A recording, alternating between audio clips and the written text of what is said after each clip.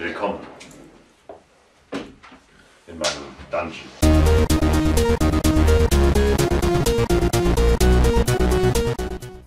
So, da sind wir bei den Choose Weapon Game News. Wir schauen uns die Woche vom 11. bis zum 17. April an und es ist nicht wirklich arg viel los, aber das ist auch völlig egal, weil Dark Souls 3 kommt raus. Richtig, am Dienstag, den 12.04. ist es endlich soweit. Dark Souls 3 für PC, PS4, für die Xbox One.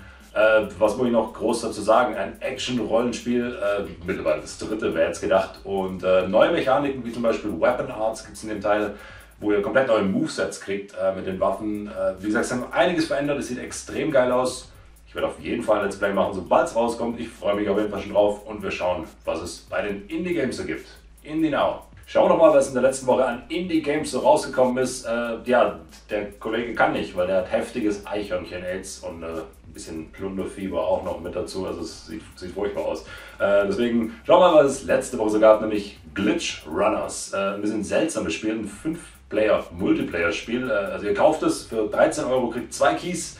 Und äh, damit werden mehrere Leute glücklich. Also vier Spieler spielen einen 3D-Sidescroller und einer ist der fiese Kollege, der die Umgebung kontrolliert mit dem anderen Key und äh, eben die anderen daran hindern muss, den Level zu vollenden.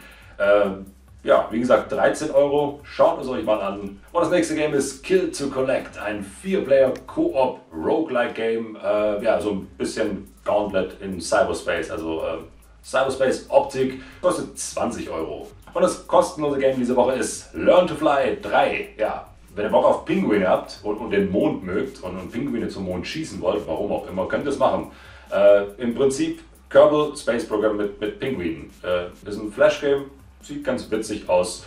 Und äh, Link ist in der Beschreibung. Wir machen jetzt die News. Hoffe ich. Lebt er? An der Newsfront ist nicht viel passiert. Das PS4 Update 3.5 ist jetzt zum Download erhältlich, falls ihr euch noch nicht entscheidend entschieden habt, das besagtes Download runterzuladen, dann könnt ihr euch ein kleines Video anschauen, in dem die meisten Feature oder einige Features erklärt werden.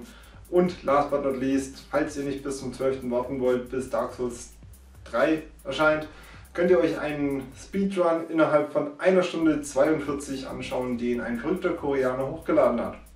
Das war's von meiner Seite für diese Woche. Wir sehen uns nächste Woche auf Wiedersehen. Äh, Apropos Kommentar. hast du noch einen Penis gerade?